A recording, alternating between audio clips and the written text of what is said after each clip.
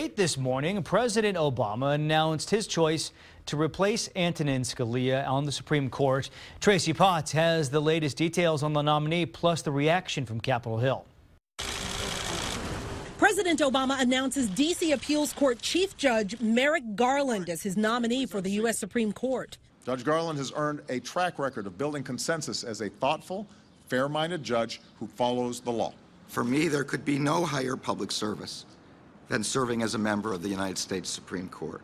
As a prosecutor, Garland oversaw the Unabomber and Oklahoma City bombing trials. He's been considered for the Supreme Court twice before, but not nominated. Garland would replace Justice Antonin Scalia, who died suddenly last month, leaving the court evenly split with four liberals and four conservatives. That's why this is so controversial.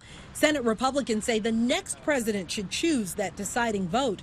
They vowed not to even hold confirmation hearings. It seems clear that President Obama made this nomination not, not with the intent of seeing the nominee confirmed, but in order to politicize it for purposes of the election. This morning, the Senate's top Democrat urged them to consider the president's nominee. He's doing his job this morning. The Republicans should do theirs.